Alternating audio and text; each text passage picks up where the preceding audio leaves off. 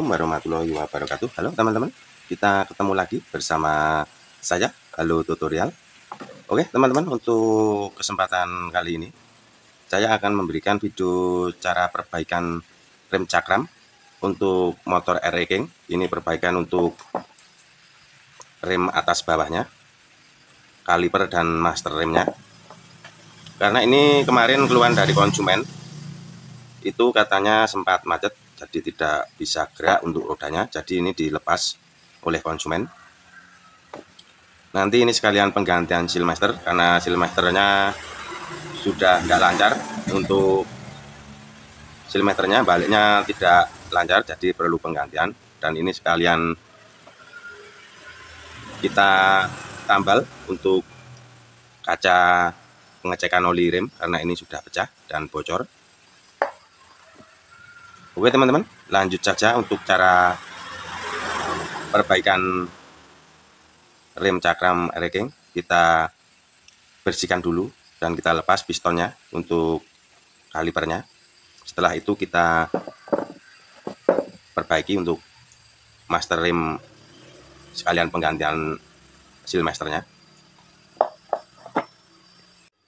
Oke teman-teman, untuk cara pelepasan piston kalipernya. Ini karena piston sudah terlalu masuk. Jadi ini dilepas pakai tang dan tidak bisa.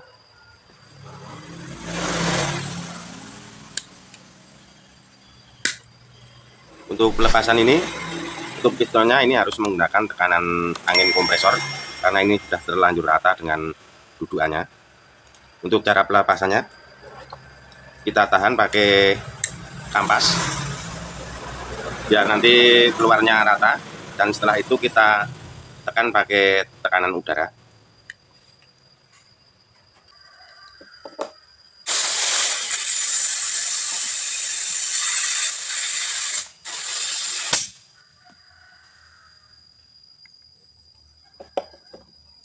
Oke teman-teman setelah piston sudah keluar karena ini sudah bisa dilepas pakai tang kita lepas saja pakai tang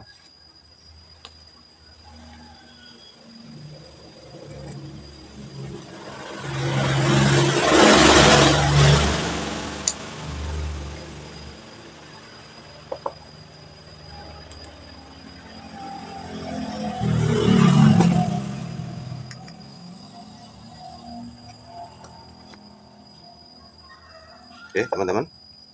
Ini penyebab dari macetnya rem cakramnya karena piston sangat kotor. Jadi ini mengganggu keluar masuknya piston nanti ini kita bersihkan pakai sabun. Kita lepas untuk seal dalamnya seal kalipernya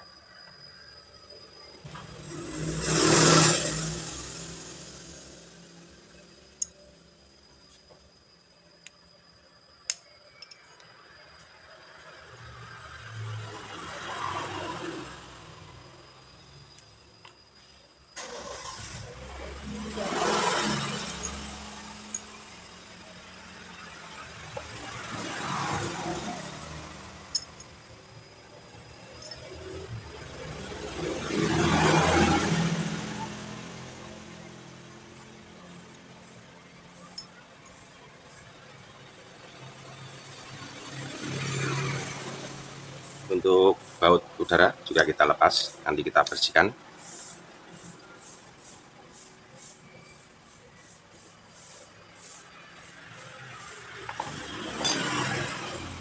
Oke untuk selanjutnya untuk pembongkaran kali bawah sudah selesai. Selanjutnya untuk seal master penggantian dan pembersihan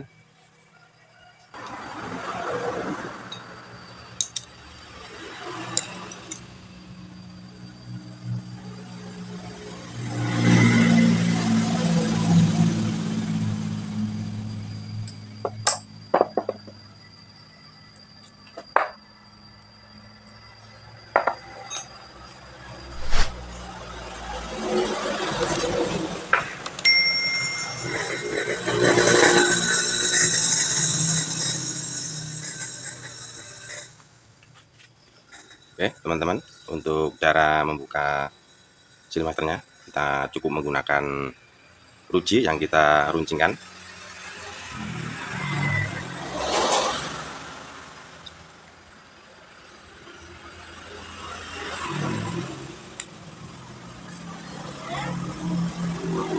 Kita lepas kancing yang ada di dalamnya ini menggunakan ruji yang sudah kita runcingkan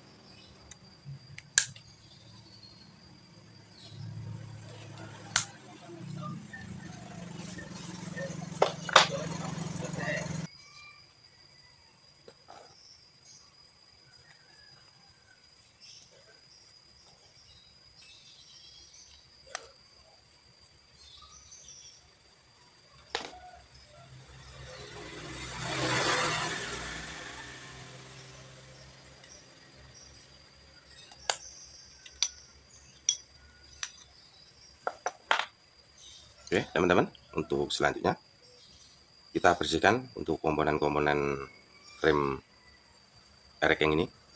Untuk cara membersihkannya kita cuci aja pakai air sabun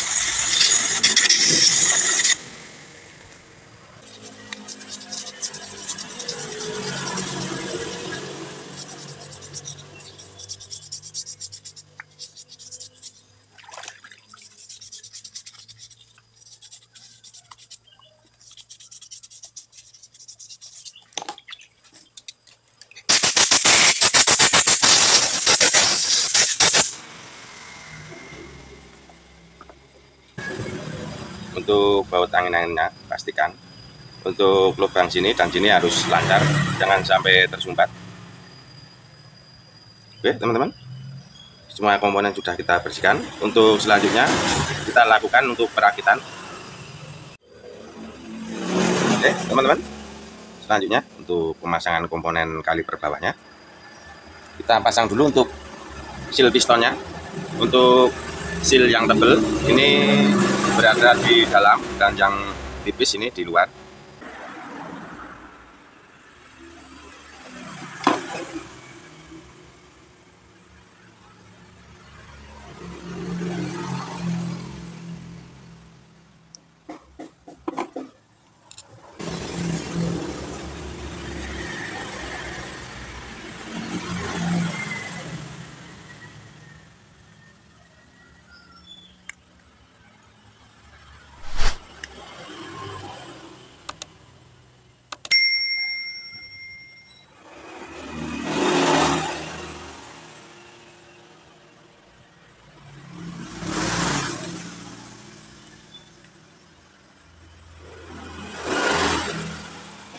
Oke teman-teman. Untuk seal pistonnya sudah terpasang. Untuk selanjutnya kita pasang untuk kedua pistonnya. Kita kasih oli biar nanti masuknya lebih mudah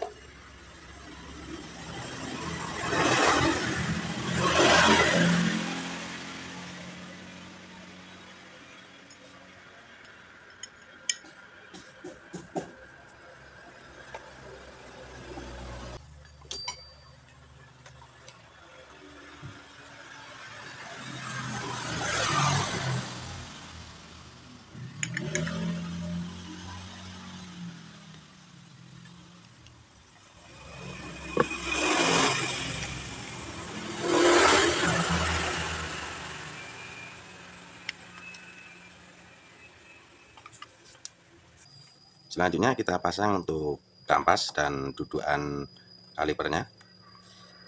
Kita pasti aslin untuk kedua baut dudukan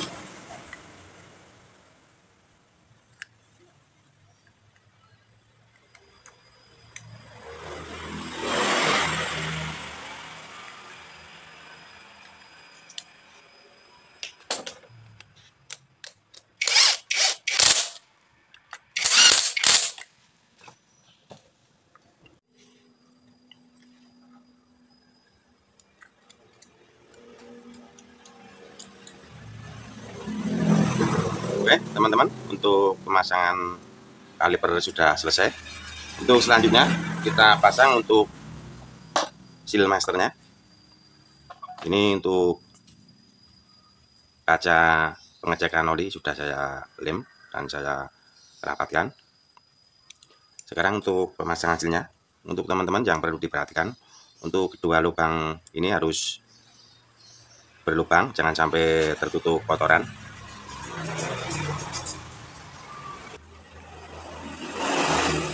untuk pemasangan hasilnya untuk seal kita kasih oli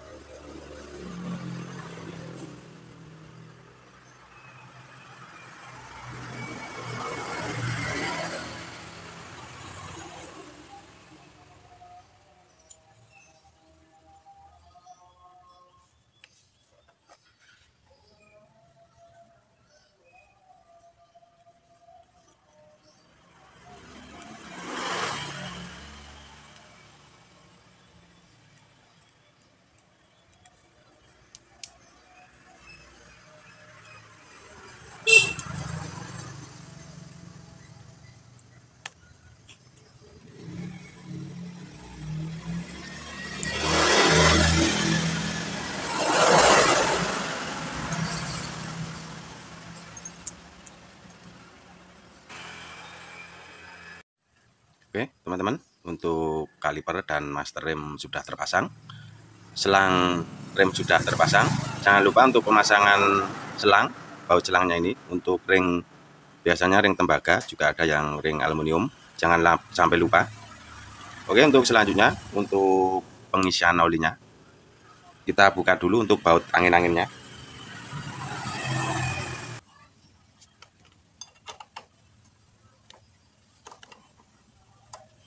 Selanjutnya untuk tampungan oli pada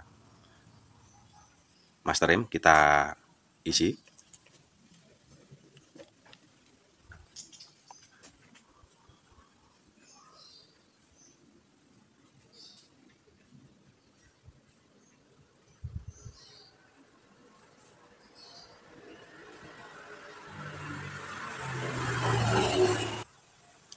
Biar lebih cepat untuk pengisian, kita pakai selang. Selang kita isi minyak rem. Selanjutnya kita tancapkan ke baut pembuangan udara.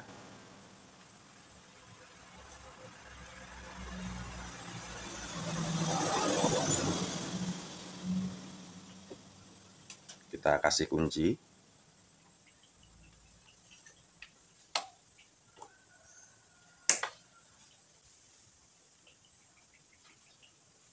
Oke, teman-teman selanjutnya. Ini baut posisi kendor. Kita semprot pakai angin kompresor.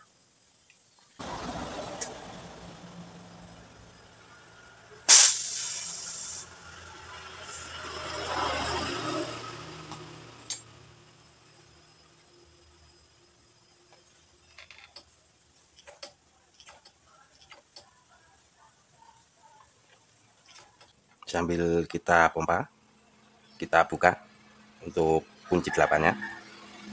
Ini teman-teman lembung udara sudah keluar kita tutup kembali. Kita pompa. Tahan kita buka untuk mengeluarkan gelembung udara. Kita pompa lagi. Tahan buka. Kita kencangkan lagi. Sampai benar-benar udara dalam rem keluar semua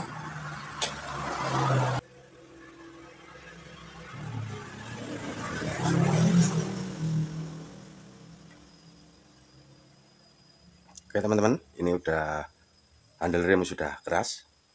Jadi untuk pengereman sudah berfungsi.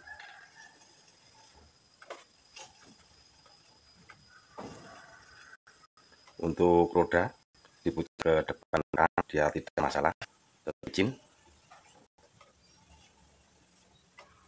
Oke teman-teman, untuk pengisian sudah selesai dan rem sudah normal. Untuk selanjutnya kita rapi-rapikan. Oke teman-teman demikian tadi untuk cara perbaikan rem depan King dari mulai perbaikan kaliper master rem dan cara pengisian oli remnya biar cepat untuk cara pengisiannya. Oke teman-teman. Demikian tadi video dari saya. Semoga bermanfaat buat teman-teman. Jangan lupa untuk like, komen, dan subscribe nya sekian dulu dari saya. Wassalamualaikum warahmatullahi wabarakatuh